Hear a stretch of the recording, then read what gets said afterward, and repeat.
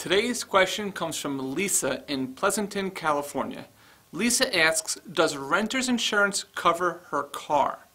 We've been asked this in the past if the renter's insurance covers the car, and in today's video we'll answer when a renter's insurance and your car insurance work together to get you the coverage you need.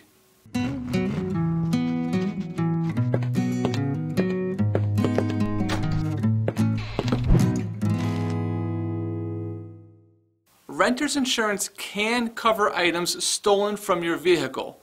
If your personal property is stolen from your vehicle, you generally have coverage on your renter's insurance policy, as long as you took reasonable steps to mitigate the risk.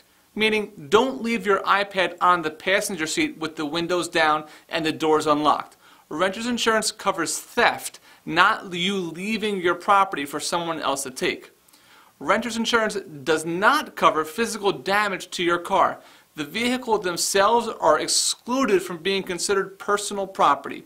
Sometimes there could be an exception made for this uh, if the auto is used solely for service or maybe just a personal vehicle around the property like a farm vehicle. So the one-time renter's insurance covers your car is when someone breaks in and steals items out of the car. Those items could be covered. Besides that, you will need a car insurance policy.